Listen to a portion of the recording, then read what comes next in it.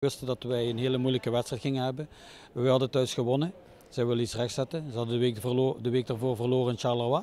Dus uh, dat doet altijd pijn. Dus uh, wij wisten dat we tegen heel gedreven Antwerpen gingen spelen.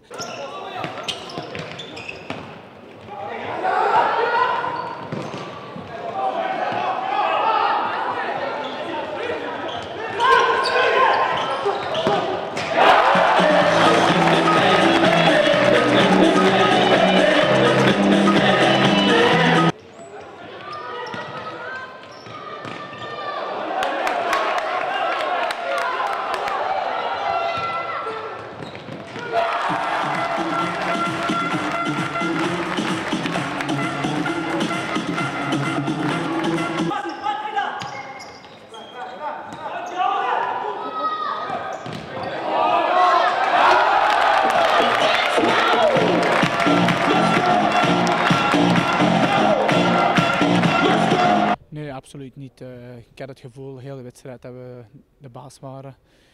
Uh, we hebben heel wat kansen nog uh, laten liggen, maar al bij al een verdiende overwinning.